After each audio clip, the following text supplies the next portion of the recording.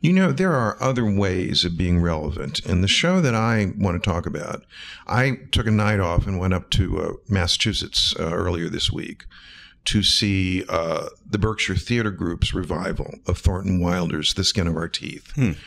That is a show that, after having been for several decades uh, the great white whale of American theater, talked about but never seen, has suddenly uh, found itself in professional revival.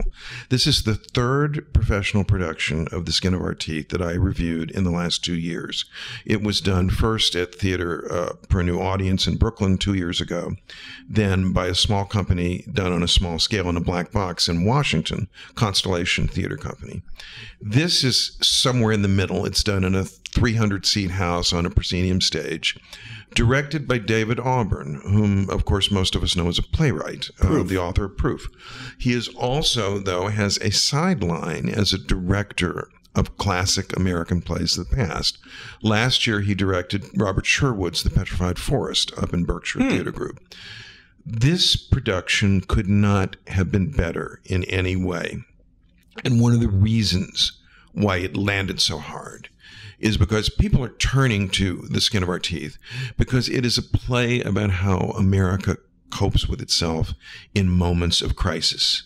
You know, the three acts are set in the Ice Age, the Great Flood, and then immediately after the end of World War II.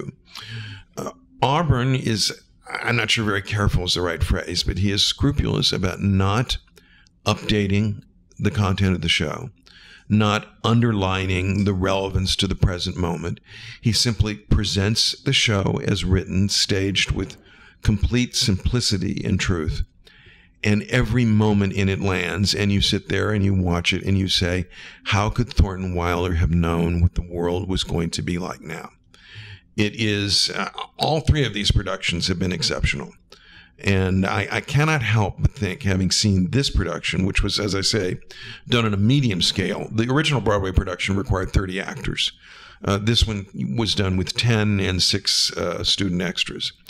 I cannot help but feel that someone is going to bring the skin of our teeth to Broadway, and that's where it belongs. Hmm. And this production, if you've got a chance to come up to the Berkshires and see it, you could not meet this rarely seen play in a more uh, totally convincing way.